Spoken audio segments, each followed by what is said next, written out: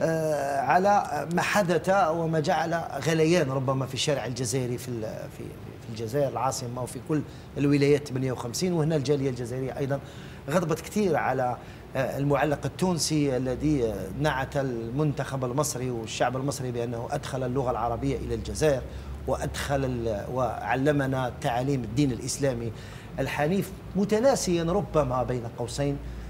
بن باديس والبشير الإبراهيمي والعلماء تاعنا جمعية علماء المسلمين اللي تأسست سنة 1931 والشيخ الورتاني واللغة العربية والعبارات الله أكبر اللي كانت تدوي في في الجبال إبان الثورة التحريرية. أعتقد بأنه فرنسا على مدار 130 سنة لم تتمكن من سلخ الشعب الجزائري من تقاليده من قيمه.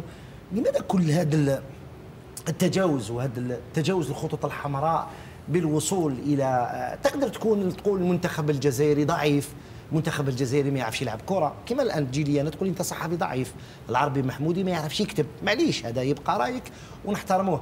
لكن إنك تمس مقومات ومبادئ الشعب الجزائري أعتقد أنها آه، مهاترات. لا نريد أن ندخل فيها لأننا عشناها في وقت مضى بين الجزائر ومصر وهذا شيء مؤسف جدا. أنا تلقيت باش ما نقولش مئات نقول عشرات المكالمات اللي عبرت عن صحيح ربما نحن شعب عاطفي ولكن ما تقيسناش ثاني الثوابت ما تقيسناش الشهداء ما تقيسناش الوطن ما تقيسناش الدين وما تقيسناش اللغة.